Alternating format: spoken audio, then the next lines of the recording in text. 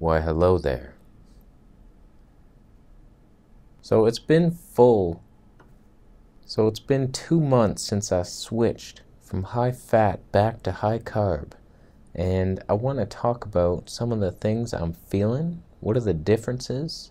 And what do I weigh now? What does my body look like? All that is coming up after the commercial break.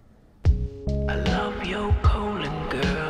My make a sound. It wasn't much of a commercial. I didn't get a chance to sell anything in it, but that's okay. So I want to talk from head to toe. What am I feeling that's different? Now that I'm back on the sugar roller coaster, is it roller coastering? Or am I just a normal human being? Can I handle the sugar now? What happened with all that? So let's start from the head and work our way down to the feet. And towards the end, I will show you my beautiful body as it is now, flexing like a thunder god. So the biggest difference I noticed with my hair is it's less greasy now.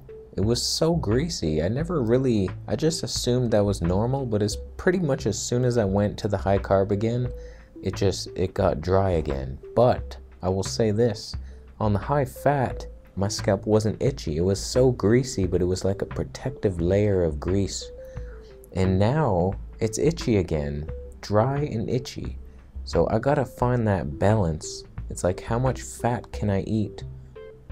How little fat can I eat to get that scalp lubricated? I don't know, but it's itchy. I have more dandruff now, but it looks less greasy. It's a trade off. My skin is pretty much the same. I haven't fully figured it out. All I know is that I break out in two different sections for different reasons. I get the T-zone tiny bumps on my forehead and nose, and I don't know why that is. And then I get big zits around here for a different reason. And it's very confusing because one will get better and the other will get worse, and they vice versa flip. And what the hell is up with that? So I'm still trying to figure out if it's a food sensitivity that's doing it but I've calmed down around here, so I think it was those roasted chickpeas. I didn't realize they were higher in fat. I forgot that chickpeas are like 15% fat. So when you roast and heat fats, that's like the worst thing you can do for your skin. But in general, my skin is okay. It could be perfect. I would just I wish this was smoother. It's not noticeable, so it's not like embarrassing acne where I'm afraid to leave the house, but it just, I want it to feel better. I know it could be better, so I'm working on it. I haven't noticed my hair getting thicker or thinner. It's just, whenever I shave it, it looks a little worse for like a week, two, three weeks. And it looks a little thinner because the light just penetrates the scalp so easily. And since the hairs on the side are pointing backwards and these are pointing forwards, that's my theory, and it lets the light in. What a cruel joke by Gardens McThunderwood that one was. But the reality is, I'm not on a fully raw diet, and I'm not taking the herbs that drive up circulation up there, so I'm not fully on my own protocol here. I'm like trying to build muscle as well and remain balanced in Canada. So it's tough to be on fully fruit and I don't have Dr. Morse's herbs. So I don't know. I don't know how much better this will get doing what I'm doing now. I might have to wait till I get to the tropics and fully just fully it up there. My left eye just leaks mucus all the time. I, I can't figure this one out for the life of me. It seems when my colon is more backed up, it will leak more but it's just the left eye. I don't understand it. It's like my brain has found a way to get toxins out through my left eye and it won't stop. It won't clog up that hole.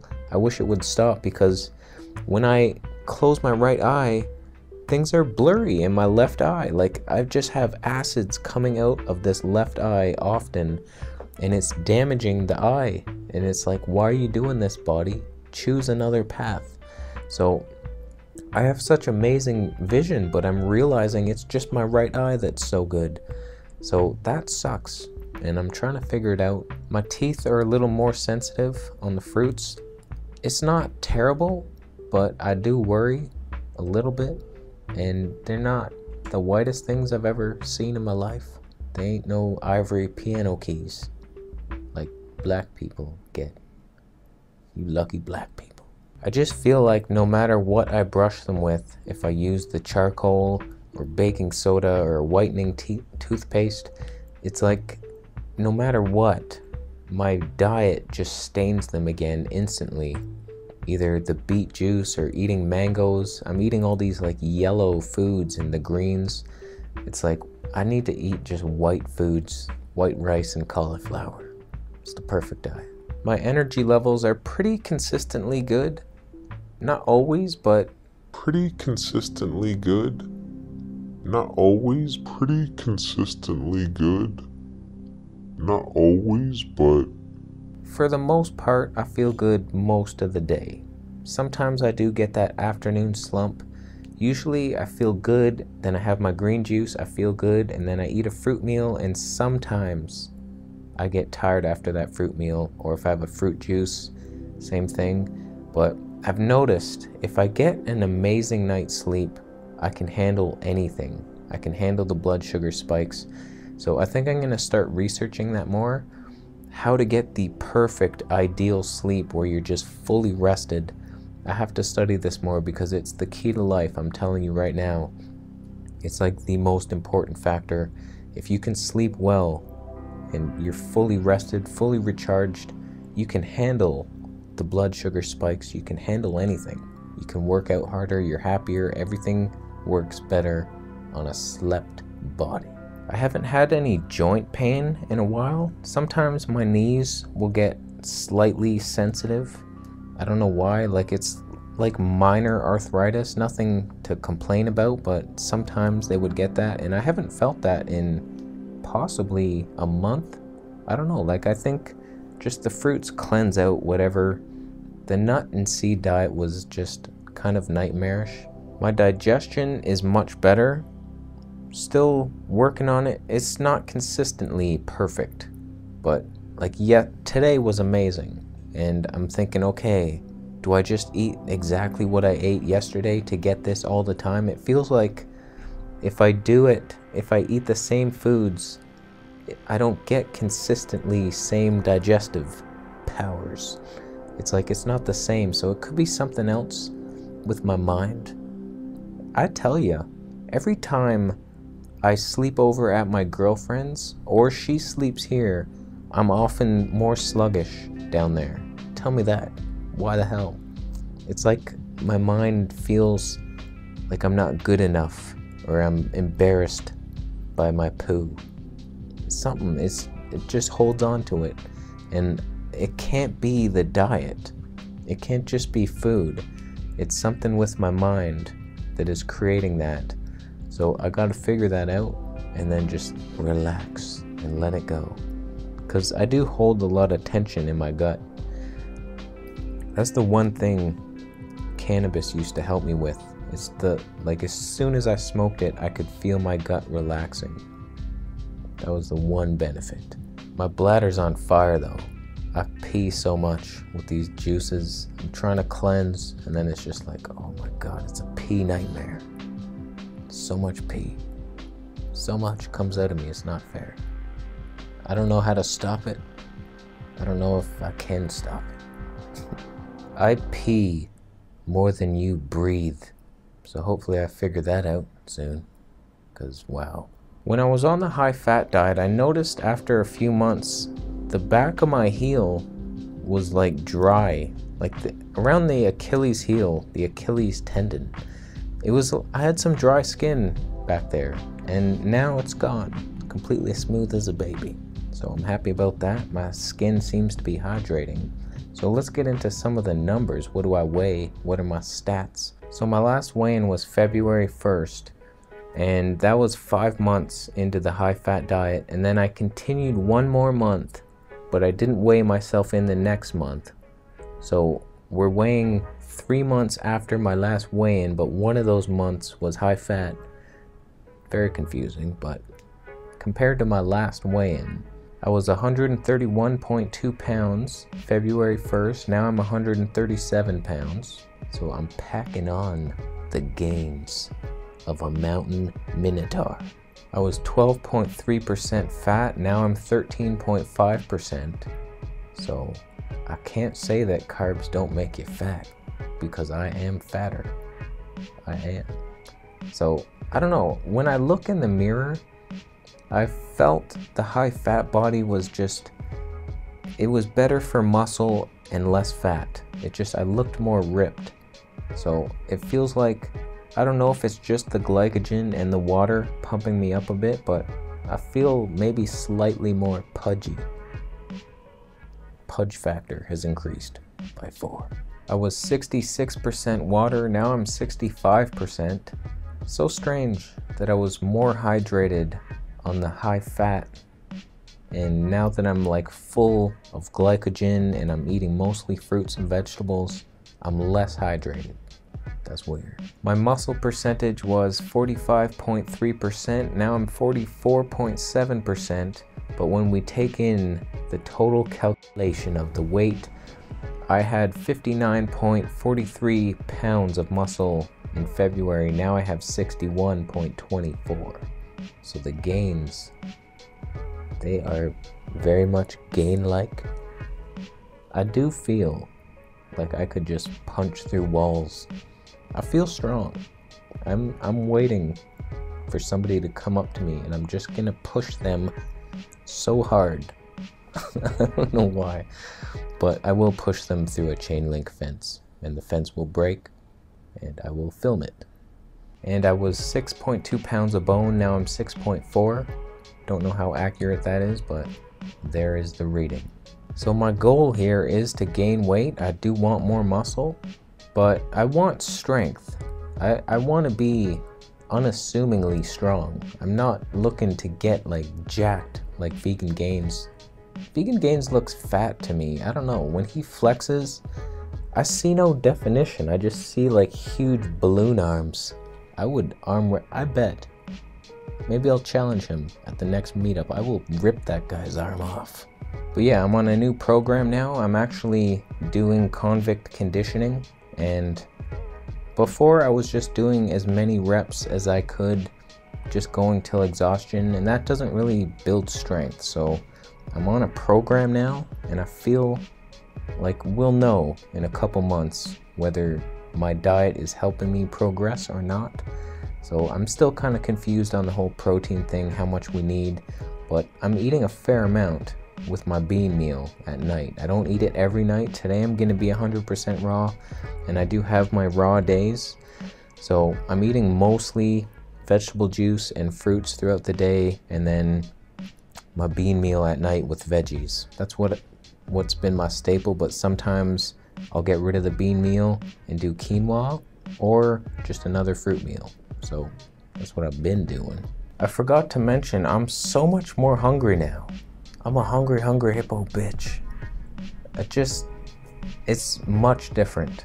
When I was on the high fat diet, it's like I could go 21 hours no problem without eating. I could even be active. And when I got home, I wasn't even that hungry. It's just like yes, I should refuel my body now. But I could wait. It wasn't like urgent, but now I'm just hungry. Much more hungry. It's that carbohydrate shit. This is why I did that high fat diet, partly. It's just like it blunts the hunger, allows you to tap into your body fat for fuel more, and I'm not sure that I'm doing that now because I'm just hungry and I eat these fruit meals and I'm like kind of satisfied and having my bean meal it just it takes so much more food to get satisfied and that's a negative definitely now what you've all been waiting for the body how's the body look you already skipped to this part didn't you you skipped through all that stuff just to get here how dare you you impatient son of a so this is me in march this is six months high fat. This is the end. This is right when I started high carb. So this right now This is the result of six months, one meal a day, high fat diet. And comparing that to when I first started, you can see that I put on some size. I was more cut in the first picture, but I definitely gained some size. And I got a hell of a lot stronger. I can do so many more push ups and pull ups than I ever could before. So, looking at me now, if we put them side by side, it's tough to tell really. I'm not sure if I've gained a ton of size, but I'm not going for size, I'm going for strength. So I'm not sure how much that's gonna show up. To me, it just looks like I have a bit more fat now on my body in the midsection, but I haven't been doing any ab exercises and I'm going to start adding in the leg lifts. For the first six months, I was doing just push ups and pull ups and some squats. Now I'm going to also incorporate the bridge for my back, where you're just like an arch, and the leg lifts to do my abs. So it's more of a full body workout now. So that's it. That's what I look like. That's what I feel like. I've given you the update. I feel like I'm healing more with the fruits cleansing out systemically. My joints are healing. My skin feels like it's getting better sometimes. My mood's pretty good most of the time. Energy levels are it's not like a roller coaster, it's just like a there's hills sometimes, and there's hills. I climb them, I come down. It's fun. Not really, but. So we'll see where this fruit based diet can take me, muscular wise. I'm curious. I mean, I have goals one armed pull up, one armed perfectly straight push up. None of that bendy wide leg shit that I was trying before, even though Jon Venus couldn't even take me up on that sissy up. What, what, what is up with these guys? So far, I've challenged Vegan Gains, Jon Venus, and Durian Rider, and Durian Rider is the only one man enough to accept my challenge. What's up with that? He was the biggest YouTuber out of all of them. So, he may have cheated, but at least he did it. So, y'all are too big, are you? Jon Venus, you're too big?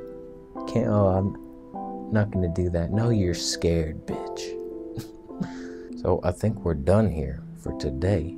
I want to thank you for watching, my friend. Thumbs up if you liked the video. Thumbs down if you weigh 110 pounds soaking wet. You can't push yourself off of a bed over your girlfriend. You just lay on top of her. It's uncomfortable, don't you know that? How dare you? Okay should you do things, click on some of those. That will help me. And please help me on Patreon. I'm debating putting one of my videos a week on Patreon. Just, I don't like the inconsistency of YouTube ad revenue. It scares me. So I gotta diversify. So I'm thinking of doing that. Let me know down below if you hate that idea. Because you will have to pay, like, whatever, a dollar a month. If you don't have a dollar a month, you might as well just make sandals for a living. How dare you? Alright, subscribe for more videos, and I'll see you in the next one.